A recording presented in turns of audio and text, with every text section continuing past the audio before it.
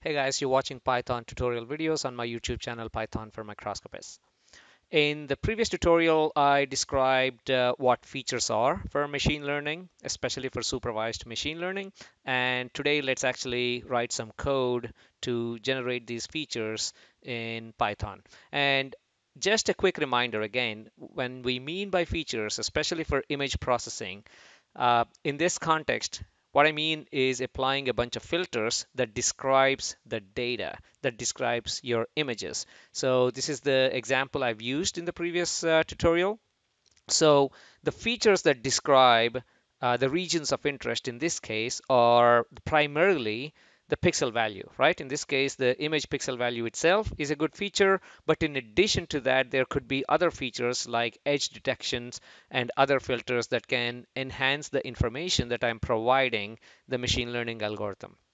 So uh, let's go ahead and start coding and I'll talk about how to apply these filters. Again, I've done this uh, a while ago in one of my previous tutorials uh, where I talked about how to apply various filters to your images. But again, I'm going to repeat that. But more importantly, I'm going to talk about, okay, once you apply this, how do you create the data frame uh, uh, that captures the feature vectors? Okay, so let's uh, dive into the coding. Let me open Spyder IDE the IDE that we have been using uh, to write our code. So here is the Spyder interface and uh, let's uh, start as usual by importing our image. So I'm going to do import, uh, I mean import the libraries to open the image. So import CV2, uh, which is OpenCV, and let's assign our variable image as cv2.imread. And uh, I'm gonna import a file called scratch.jpg. This helps me demonstrate one filter. For example, let me open the image right here so you can see this is the image I'm trying to open. And as you can see, this is a tough image to segment using traditional histogram segmentation. Obviously, as humans, we can see that this area has a lot of uh, uh, texture compared to this region, which is very flat. But how do we segment these uh, regions? Well, for that, uh, a good filter, I mean, you can use variance filter that can actually describe this region, but uh, a good one that can uh, really help is called entropy filter. Yeah, if you have taken thermodynamics class in the past or any statistics class, you probably, or even just plain English definition, you probably know uh, entropy as lack of disorder or entropy is a not lack of disorder lack of order sorry. And entropy basically is a measure of disorder. And uh, in this case if you look at, at an individual pixel level I see more disorder in this region than the flat region right here. So hopefully entropy filter is going to help us and uh, the way we actually uh, uh, look at this, load this entropy filter, let's go ahead and import the right library. It is in skimage dot filters dot rank and again you can look at uh, the documentation if you want but entropy filter requires us to define a disk size because that's like the kernel kernel size that uh, we define. So that's also present in uh, skimage.morphology okay? Morphology. Uh, import disk okay. And again this is just one example. You don't have to use this one. This is just one example. There's so many filters out there. Go ahead and do some research. As the subject matter expert you need to understand okay what filter is the right one to describe the features in your in your image. Okay? So that's pretty much it. Once I import that I'm just gonna say entropy image equals uh, we imported entropy right? So and then the inputs are our image okay? And uh, disk size. And uh, let's say disk size is one for now okay? And by the way uh, if I run up to here I should see what my image is. It's a RGB image. We can choose to actually. Let's actually convert this to single color. I mean gray level. CVT uh, did I make a mistake? Color I think CVT color. Okay, so our input is our image and let's convert this to gray. I think it's uh, underscore BGR. Again, remember this is OpenCV, so it's not RGB. It's BGR to gray. Okay, so just for the fun of it, let's run these lines to make sure we haven't made any mistake. Everything works fine. My image is now only a grayscale. You can see the dimensions up here. So now I'm ready to come down and then visualize my entropy uh, image. And how do we visualize this? cv2.imshow and uh, my title is going to be entropy and the image name uh, entropy underscore image. Now do not forget to type this cv2 dot key i t k e y. You can provide how many milliseconds you want the image to be open right there, but after displaying the image, destroy all windows. Okay, so now let's go ahead and run this so we can see this is how the output. In fact, let's go ahead and cv2 imshow original image, okay? So it's easy for us to compare and our original image is just img, right? Okay, so let's run this one more time and here is the original image and here is the entropy image. You see how we can use entropy values because here the value is very high wherever we have disorder. Wherever we have some sort of an order, you know, the value is low. So entropy can define, entropy is one of the good features that I can pick to describe this specific image okay? Now um, what if I have a, a different image and uh, let's actually let me import uh, what other images do I have? I think I have an image called yeast cells. Again these are the ones I just downloaded from the internet uh, png and uh, let's let's go ahead and do this yeast cells.png and here it is. So entropy is not a good filter to describe this as you can see. So this is the original image and this is the entropy filter and I see a bunch of nothing. So it tells you the importance of uh, picking the right type of filters. So in addition to entropy, what else should we select? Uh, let's do Gaussian blur. I mean, just to show you. And Gaussian is uh, uh, where is the Gaussian filter? I think it's part of, again, let me go ahead and import it right here from SciPy import nd image as nd okay? By the way some of these filters are available in multiple libraries so use which one uh, you think uh, you know most of them should do a similar job. So go ahead and use whatever you think will do a good job or faster job I should say sometimes. Gaussian my Gaussian image is uh, nd dot. Does it show Gaussian filter? Yep right there.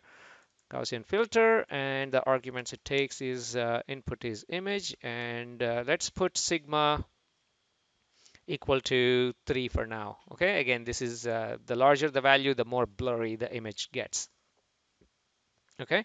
So our Gaussian right now is Gaussian underscore image. Okay, so let's go ahead and run this. And here is my original image and here is my Gaussian image. And again, what is it describing? Well, we don't know. I mean, maybe this is useful, maybe this is not useful for our machine learning. But this is another filter uh, that we can definitely consider. And uh, let me just do one more before uh, jumping on to uh, you know, creating a feature vector. So one more Sobel. I like this because it's very good on edges. So from SK image filters, there are a bunch of these. Uh, uh, go ahead and look at some of these filters. Sobel.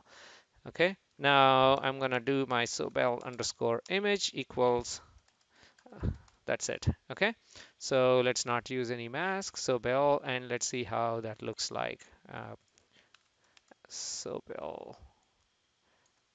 Okay, so let me go ahead and run this and we should see, there you go. So this is the original image and this is the edge, well, or Sobel filtered image, which definitely shows us like all these regions with the hard edges. So this can be a very good filter uh, to separate the cells in this image.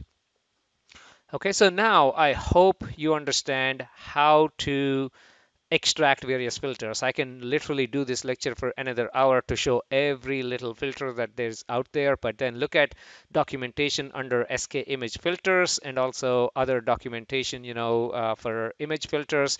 But this is how you can actually generate these filters. But how do you put all of this information together to create like a pandas data frame that we can use as input into our machine learning algorithm? Yeah.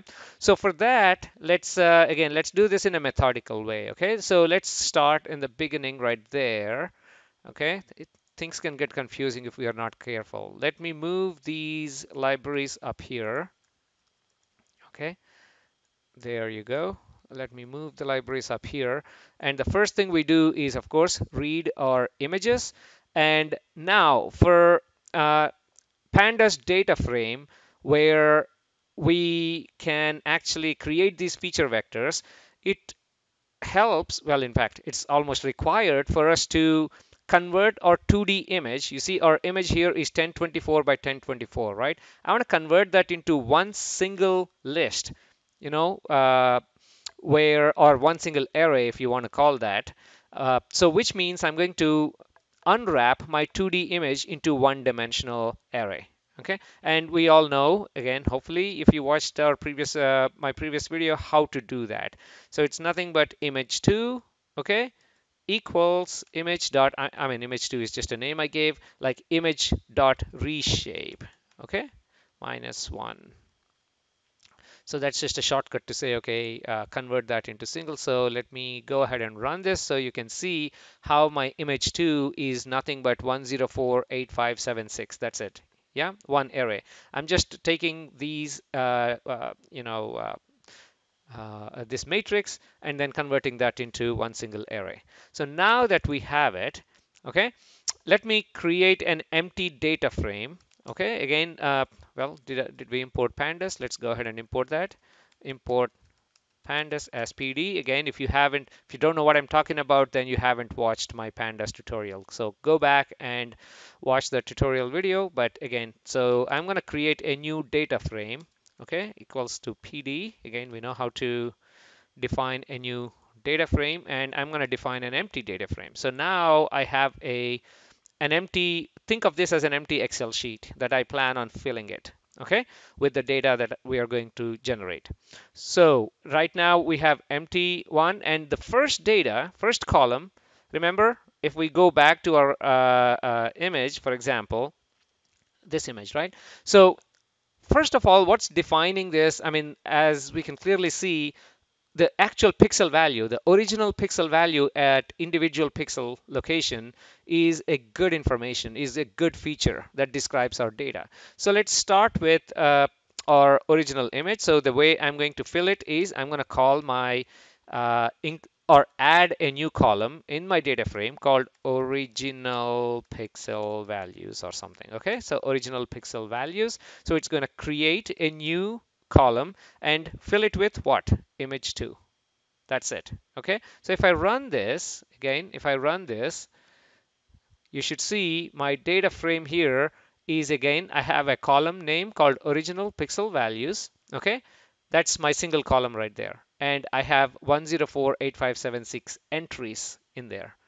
Now I need to add another column. I think you got the idea here. Now that I'm calculating entropy here, Okay, so let's go ahead and first of all unwrap the entropy. Remember this entropy underscore image is a 2D image.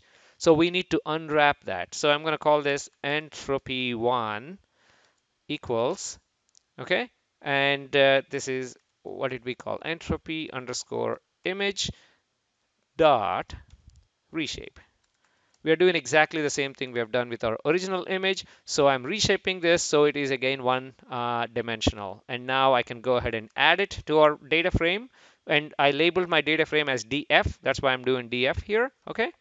And the new column name, I'm going to call it entropy. And what is it equal to? Entropy 1. That's pretty much it.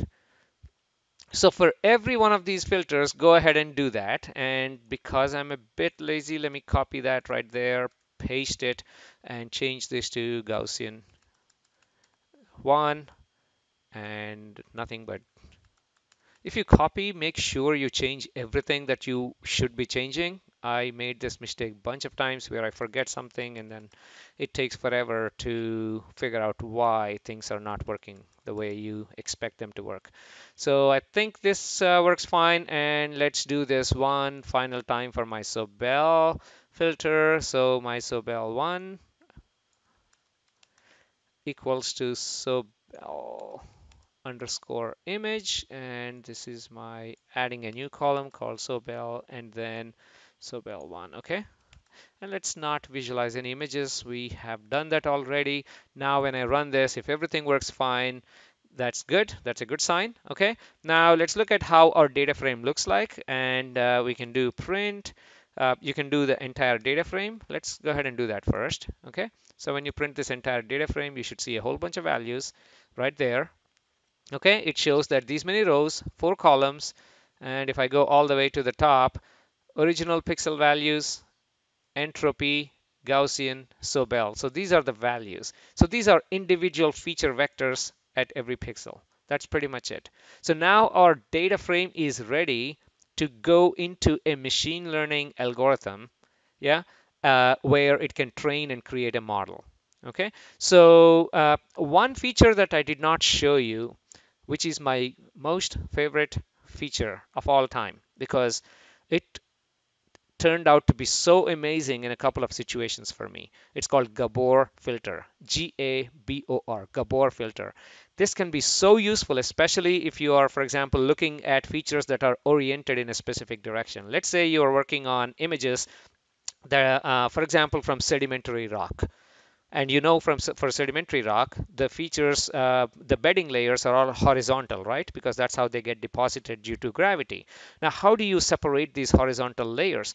By applying, let's say, Gabor filter with an orientation of zero degrees, you get amazing signal when uh, you're looking at uh, horizontal features. Same thing, vertical, you know, angled. So that's that's one of the components of Gabor filter. Another component can be uh, frequency, and uh, you can look at sigma. So it's it's it's it's uh, a million filters in one. That's why I love it so much. That's why I'm not covering it in this tutorial. And I'm this is basically a teaser for the next upcoming tutorial about Gabor filter. And because I love it, I'm gonna I'm gonna spare. I mean, I'm I'm gonna dev devote an entire uh, you know tutorial just on Gabor filter and uh, let's uh, uh, let's meet uh, in the next tutorial then. Until then i hope you loved what you saw here. Please subscribe to my channel and thank you very much